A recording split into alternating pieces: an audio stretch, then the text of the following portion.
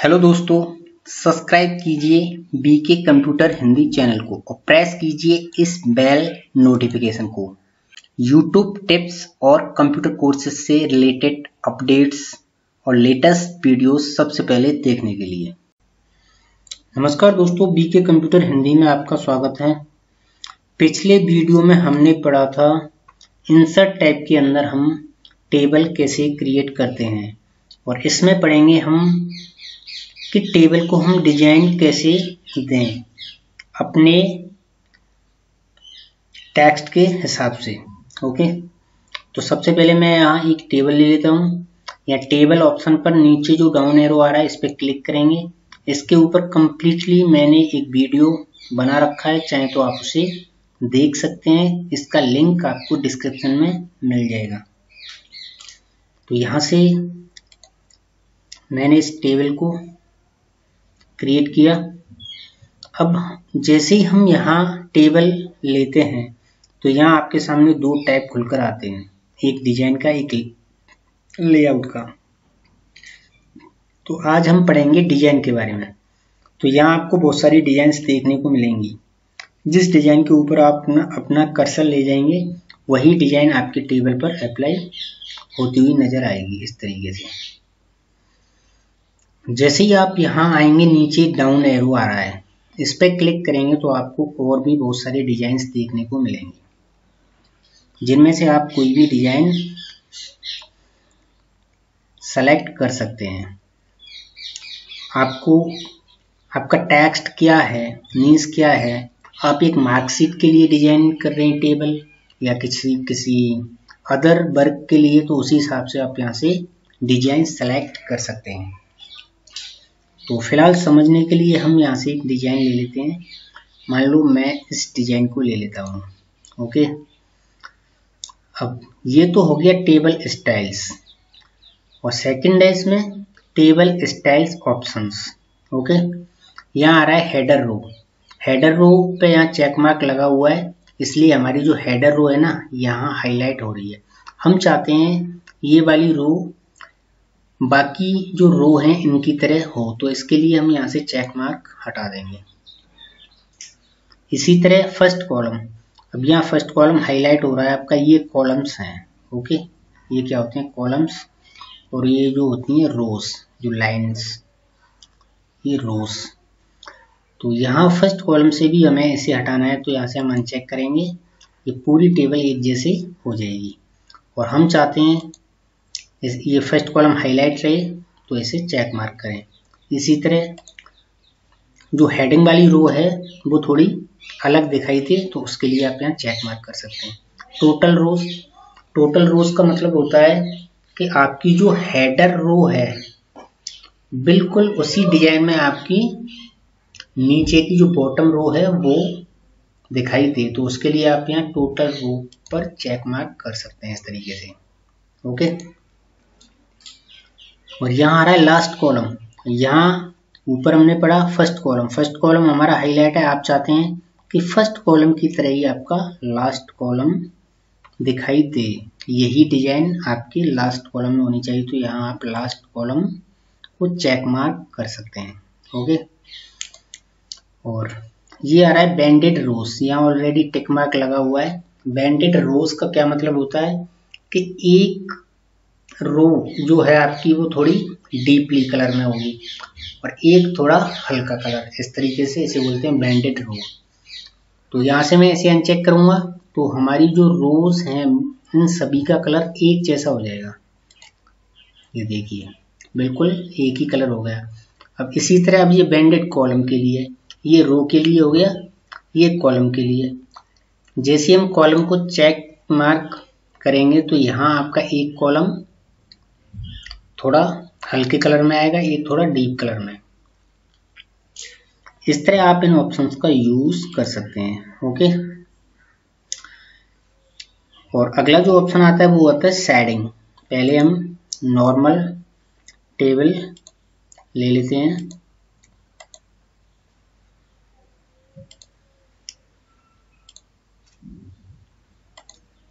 सैडिंग क्या होता है? शेडिंग की इस ऑप्शन से हम अपने टेबल को कलर दे सकते हैं। जैसे मुझे फ़र्स्ट वाली जो रो है, इसको एक अलग कलर देना है। मैं इसको रेड कलर में चाहता हूँ तो इसे हम सेलेक्ट करेंगे और यहाँ नीचे एरो के आइकन पे क्लिक करेंगे और यहाँ से कलर चूज़ कर लेंगे, जो कलर आप देना चाहते हैं। मान लो मैं इस वाले कॉलम को अलग कलर देना चाहता हूँ तो आप इस कॉलम के ऊपर जाइए, यहाँ क्लिक कीजिए सेलेक्ट हो जाएगा और यहाँ से आप इसे अपने हिसाब से कोई भी कलर दे सकते हैं, इस तरीके से। तो कंट्रोल जेड करते हैं हम, वापस चलते हैं। और जो नेक्स्ट ऑप्शन है दोस्तों, वो है बॉर्डर सेडिंग के बाद बॉर्डर स्टाइल बॉर्डर क्या होता है? जो हमारी टेबल जो बनी हुई है, ये एक लाइंस की मदद से बनी हुई है। इन लाइंस को बोलते हैं हम बॉर्डर अब इन्हें हमें कैसे डिज़ाइन करना है? मान लो आपको जो फ़र्स्ट वाली रो है, ये वाली रो इसे आपको अलग से डिज़ाइन देनी है टेबल के अंदर। तो इसे आप सेलेक्ट कीजिए और यहाँ आ रहा है बॉर्डर स्टाइल यहाँ नीचे इस पर क्लिक कीजिए और यहाँ बहुत सारे स्टाइल्स आपको मिल जाएँगे यहाँ। जैसे मैं इस वाले स्टाइल को देना चाहता हूँ तो यहाँ मैं क्लिक करूँगा और यहाँ आ रहा है बॉर्डर नीचे एरो पे क्लिक कीजिए।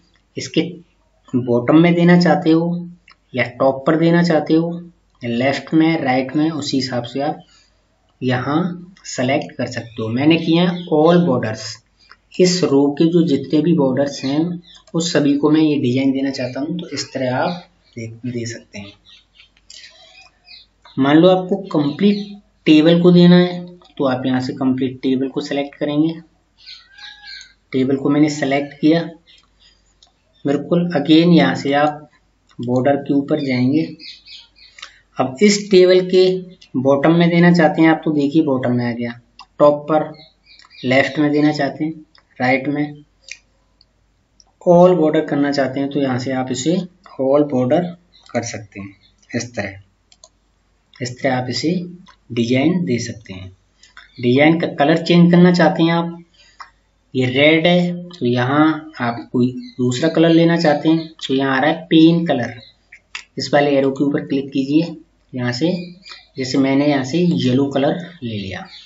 येलो थोड़ा कम दिखाई दे रहा है दोस्तों तो मैं यहाँ से ले लेता हूँ इस वाले कलर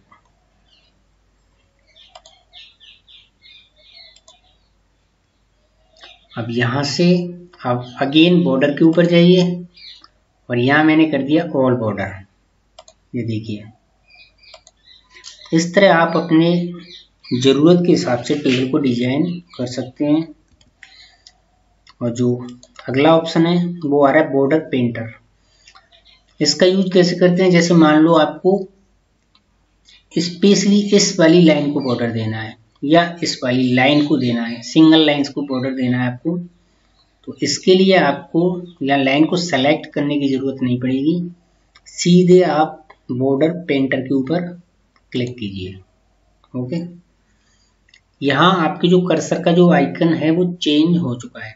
अब मैं इस वाली लाइन को बॉर्डर देना चाहता हूँ तो इसे इस तरह सेलेक्ट कीजिए, ये देखिए। इस तरह। कंट्रोल चेयर वापस चलते हैं यहाँ से स्टाइल चेंज करना चाहते हैं, जैसे मैं स्टाइल चेंज किया। और आप चाहते हैं इस वाली लाइन को ये बॉर्डर देना। तो ये देखिए। आप चाहते हैं नीचे बॉटम में हो। इस तरह।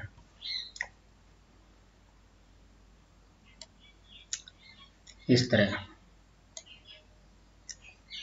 आप पर्टिकुलर किसी भी लाइन को इसकी मदद से बॉर्डर दे सकते हैं। ओके इस तरह। बॉर्डर पेंटर की मदद से। और जो सबसे इम्पोर्टेंट इसमें एक ऑप्शन आता है। जैसे मान लो, यहाँ पर बहुत सारे स्टाइल्स दे रखे हैं। ओके अब इन स्टाइल्स के अंदर आपको कोई स्टाइल्स पसंद नहीं आ रहा है। ओके तो हम अपनी तरफ़ से कोई भी स्टाइल कैसे क्रिएट करेंगे? हम अपनी तरफ़ से कोई भी स्टाइल कैसे क्रिएट करेंगे? अब इनमें से कोई स्टाइल आपको पसंद नहीं आ रहा है। तो नीचे ऑप्शन देख सकते हैं आप, यहाँ आ रहा है मोडिफाई टेबल क्लियर और न्यू टेबल स्टाइल तो आपको न्यू टेबल स्टाइल के ऊपर क्लिक करना है। यहाँ आपके सामने एक विंडो खुलकर आएगी, एक पॉपअप टाइप तो यहाँ अपने स्टाइल को आप क्या नाम देना चाहते हैं या नाम दे दे सकते हैं? या जैसे मैं इस स्टाइल को नाम दे देता हूँ बी के बी के कंप्यूटर हिंदी, ओके? अब यहाँ यहाँ से आप इसे क्या कलर देना चाहते हैं? बॉर्डर को। कौन सा बॉर्डर यूज़ करना चाहते हैं? जैसे मैं ये थ्री लाइन वाला यूज़ करना चाहता हूँ।